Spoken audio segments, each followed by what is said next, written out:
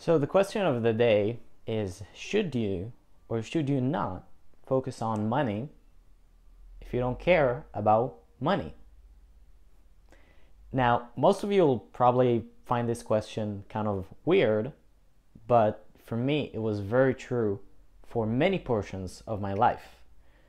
Some portions of my life, it was all about the money. Like, that's all I could think about. And I took huge risks and sacrificed relationships, you know, girlfriends, friends, comfort, safety, security for money.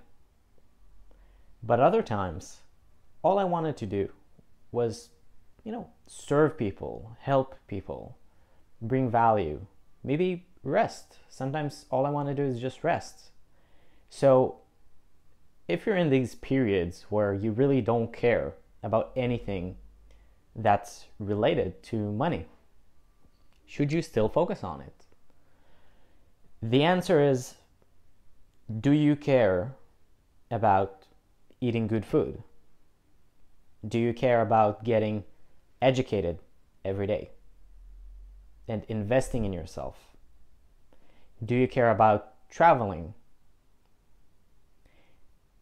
If you care about these things, then you probably need money.